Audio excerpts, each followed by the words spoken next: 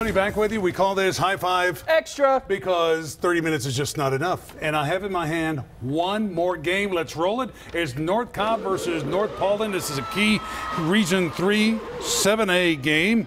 North Paulding's Lucas Mays. The Wolfpack, they're they're five and one, so they're uh, rocking and rolling this season. North Cobb four and two. Let's see what the Warriors got here. Caleb Opan scoops up the fumble and scores. Go, big Here's man. a big man. He's got some speed. Big too. man touchdown. How about Wolfpack quarterback now? He gets into it.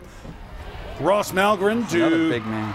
Luke Dabble for a touchdown. North Paulding wins a 24 to 17. Great uh, region win for them. They got Marietta and they got McEachern in there, so that's a tough, tough region. The Wolf Pack. Appropriate on a Friday the 13th. Where